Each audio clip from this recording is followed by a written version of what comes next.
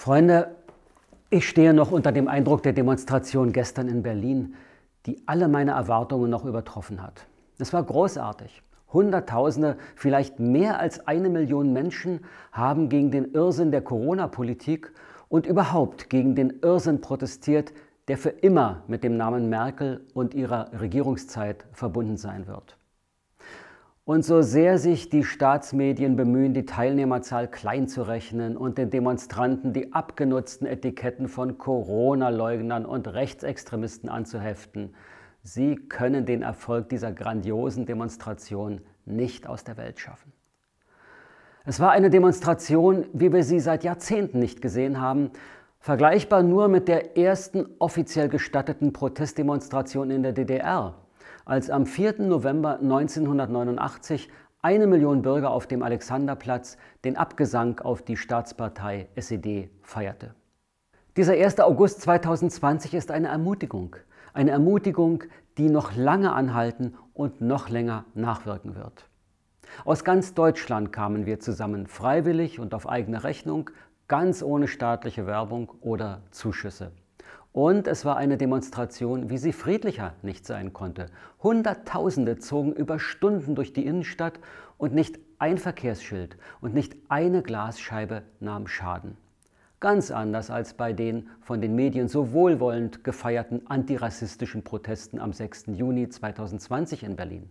Da gab es Ausschreitungen und mehr als 90 Festnahmen. Gestern kam niemand auf den Gedanken an eine Sachbeschädigung oder gar an Gewalt gegen Andersdenkende. Auch auf den Transparenten und in den Slogans des Tages stand der 1. August 2020 in der Tradition des 4. November 1989. Mit den Rufen Freiheit und Frieden, Widerstand und Wir sind das Volk haben wir nichts anderes gesagt als Wir verteidigen das Grundgesetz. Der 1. August 2020 hat es aller Welt vor Augen geführt. Unser Potenzial ist gewaltig und nichts ist stärker als ein selbstbewusstes Volk. Die Auflösung der Abschlusskundgebung ist eine Schande, aber sie hat auch ihr Gutes. Sie ist eine Demaskierung. Und das hat kaum jemand deutlicher gemacht als die SPD-Bundesvorsitzende Saskia Esken, die noch gestern Abend auf Twitter Folgendes schrieb.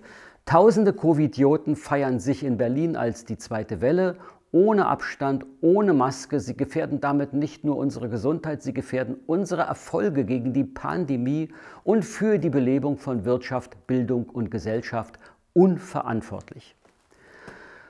Für die gewalttätigen Proteste zwei Monate zuvor, bei denen Polizisten mit Flaschen und Steinen beworfen wurden, fand sie ganz andere Worte, nämlich Zehntausende Demonstranten zeigen überall in Europa Solidarität für Black Lives Matter und protestieren friedlich gegen Rassismus und Polizeigewalt. Danke. Wenn es zutrifft, dass Thorsten Schulte oder andere der absolut friedlichen Demonstranten am 1. August 2020 in Gewahrsam genommen wurden, dann wäre es eine Schande. Mir wird das Bild der von martialisch ausgerüsteten Polizisten abgeriegelten und besetzten Bühne unvergesslich bleiben.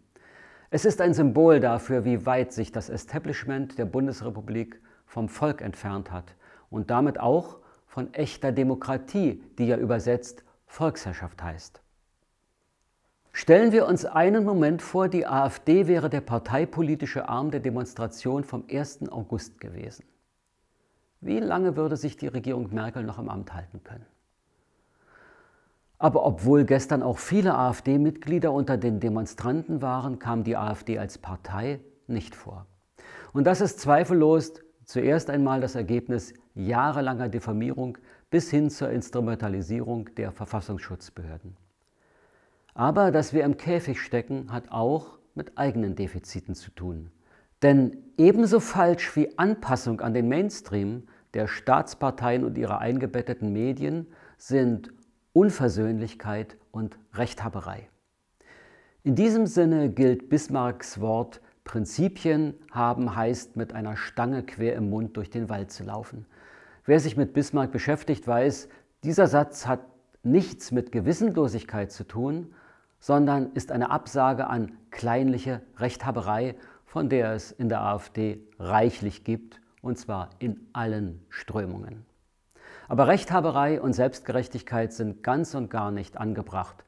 Haben wir ein AfD-Fernsehen? Haben wir ein AfD-Haus? Haben wir eine Demonstration von nur annähernd der Dimension des 1. August 2020 zustande gebracht? Nutzen wir den 1. August 2020 auch dazu, um in der AfD unsere Maßstäbe zu korrigieren und destruktiven Streit zu beenden. Es geht nicht um Kleinkram, es geht um unsere Zukunft. Die AfD braucht starke Flügel und das Land braucht eine echte Alternative zu den Parteien, die dabei sind, nach Art der SED in Deutschland eine Fassadendemokratie zu installieren.